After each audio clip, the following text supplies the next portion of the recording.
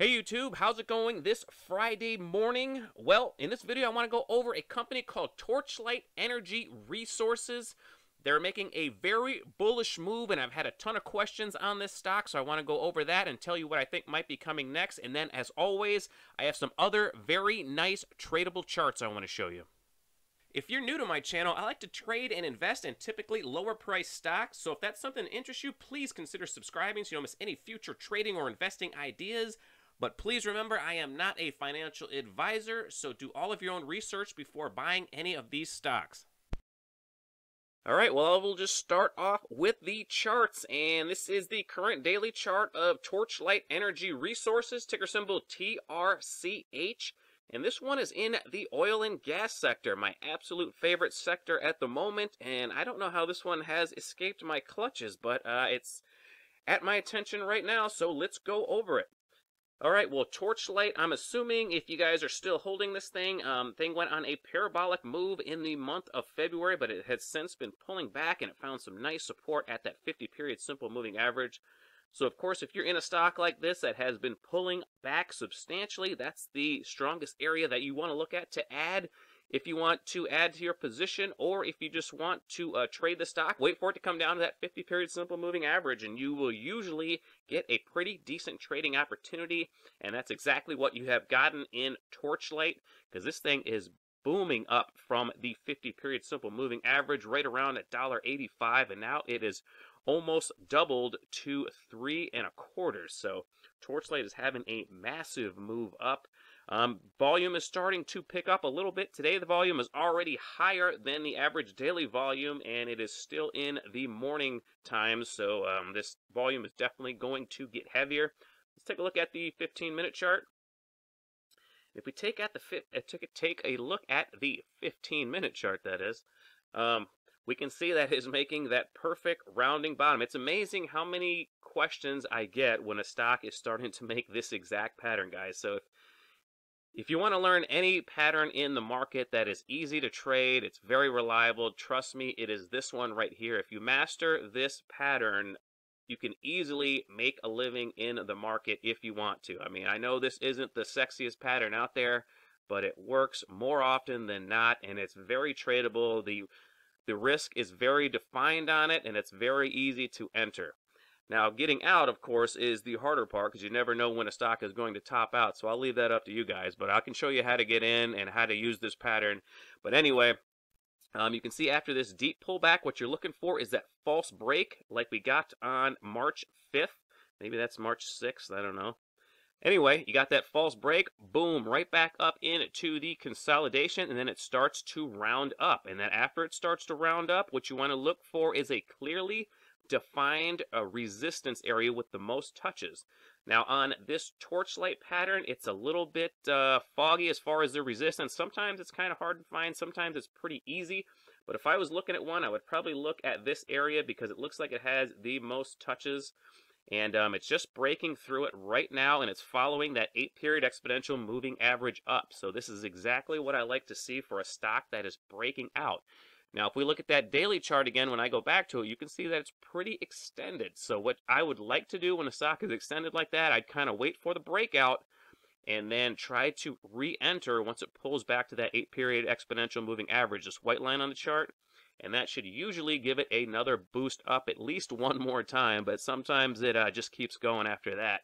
But if we back it out just a little bit more, um, you can see the nice rounding bottom the lows are getting higher and then the move starts to accelerate to the upside and that's when you want to be jumping into these stocks. That's when they have the best chance to give you the biggest gain the fastest. So um, if you guys just keep trading this pattern and learn the ins and outs of it i'm telling you you get your trading account will be much better. But uh, let's go back to the daily chart real quick. Let me get this line out of here so we can see the pattern just a little bit better. And like I'm saying, it's pretty extended right now. So normally when a stock is extended like this, um, I usually like to wait for a pullback. Now, when you do look at this stock in the daily uh, chart, it does look like it's rather extended. But when you when you look at it intraday, you can see that the move is potentially just getting started. So when a lot of people want to avoid this move right here, just wait for a little bit of a pullback on that intraday chart. And uh, that could be a good entry to get into these stocks before they start that next move up. But Torchlight did get a pretty good bounce off that 50 period simple moving average. The volume is starting to come back in. Yes, it is not extraordinarily big like it was in the beginning parts of the move, but those were parabolic moves. Um, you don't necessarily need it to go parabolic. Of course, you want that, but you don't necessarily need it to go parabolic right now in order to have a pretty good gain. So if you guys are in Torchlight right now, I would probably sit tight because it looks like it's probably going to start or continue moving up. And if you're not in it yet, I would kind of probably wait for a little bit of a pullback, um, especially if it pulls back to the 8-period exponential moving average on this daily chart. I'd rather see it consolidate at this level a little bit and let this 8-period exponential moving average catch up to it. I mean, that would be the perfect setup for me.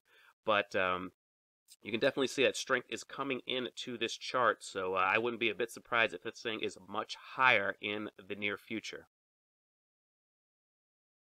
All right, well, the first one I want to show you is American Airlines Group, and this is the only one that I actually traded today in the Patreon group.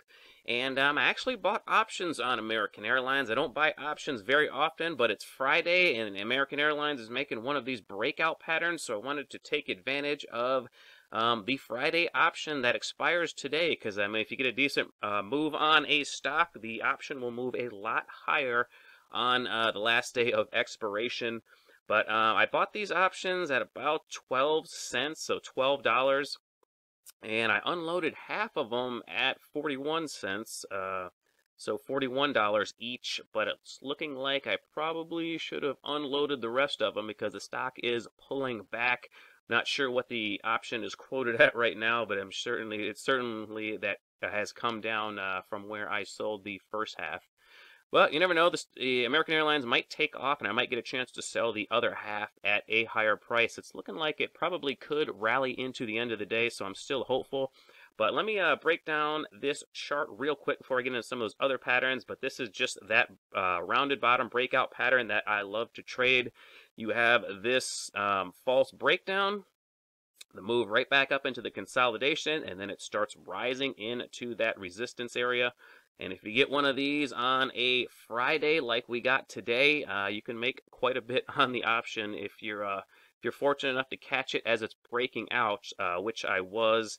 But uh, just an absolute beautiful pattern when you look at it intraday, and if you get that breakout, um, you get a pretty good move. So I made a little bit more than a triple on that first lot. Hopefully I can close out the uh, second lot. Hopefully we get a bounce off this 8-period exponential moving average and a catapult into a new high. That would be super duper. But uh, I just wanted to show you that uh, option trade that we made in the Patreon group today. Now let's get to some of those other nice looking charts. Let me get this line off here in case I need to come back to this chart later.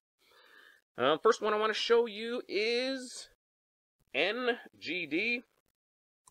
This is actually a gold stock. This one is showing up on my accumulation scan. This thing is trying to get above this um, 200 period simple moving average as I'm recording this video. Um, gold, I have the um, opinion that gold is probably going to rally pretty soon. And um, I've been watching some of these low price gold stocks, and uh, the price of gold is pulling back. So, of course, the gold stocks, or at least most of them, are pulling back as well. But NGD is pulling back into this support area, and actually, um, I did a video on NGD, I think last week, and um, they actually have uh, earnings that are projected to increase substantially in the next couple of years. So if gold does get a boost, I think uh, New Gold Incorporated could be a a really good stock to buy and hold if the price of gold rallies because NGD's earnings will most likely do even better than what they are projected if you get a strong rally in the gold price. So NGD is definitely worth uh, keeping an eye on. And I'll actually link uh, that video at the end of this video if you want to learn a little bit more about NGD's uh, fundamentals. But uh, NGD is definitely making a bullish pattern right now. And if it can get above, uh, get above these moving averages, I think it has a strong uh, chance of getting back to a new high. but the next one I want to show you is Rave. Talked about Rave yesterday, and it is showing up on my scans again. And if we zoom in a little closer, we can see that it's holding that 8-period exponential moving average perfectly. And if it can bust through this resistance area right around a dollar fifty or so, I think it could be off to the races with a Rave Restaurant Group because this thing just keeps showing up on my accumulation scan. So this thing is definitely under accumulation. And uh, I'll be watching this one for a potential breakout over 150. Um, the next one that I want to show you is Zomedica. Zomedica I have done videos on in the past. You see we had this very nice uh, looking double bottom just above the 50 period simple moving average. And if we zoom in a little closer, we can see it's starting to make that nice rounding bottom and putting pressure on this um, well-defined resistance area of right around two and a quarter. And if we go intraday on that, we can definitely see that it is um, getting very close to that resistance area. And if it can push through that area, which it looks like it's probably going to do any day now, um, I think it could be off to the races for Zomedica again, and it could be taking out this old high. So Zomedica is definitely one to keep an eye on if we get a breakout. Uh, next one I want to go over is CLBS. And some, I believe some guys on the Patreon were talking about this stock uh, just yesterday or the day before, saying it's got some social media buzz, maybe around a uh, potential drug that's going to be approved soon, but uh, it definitely looks like it's being accumulated. It's popped above those moving averages, and it is holding that eight period exponential moving average. So if it can bust above this high, right around probably $2.30, I would call it, I think CLBS could be a big mover. So this one I am keeping a sharp eye on. And if it does break above that level, it's probably going to be fast. So I'm going to have to be quick on my feet to catch this one.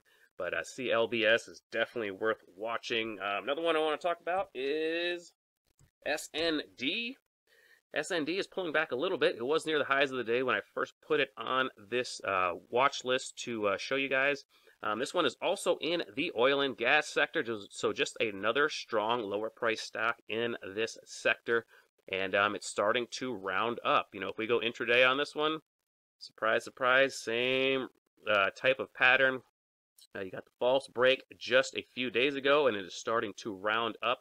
Now this um, resistance area is going to be a little bit tougher to put on the chart. So this one is going to be a little bit subjective. I would probably call it $3.30 on uh, SND. If we go back to the daily chart, you can see there isn't super well defined resistance on these. So these are a little trickier to trade, but um, it has a momentum to the upside nonetheless. And I do think the uh, oil and gas sector is certainly going to continue to be strong going into the summer months.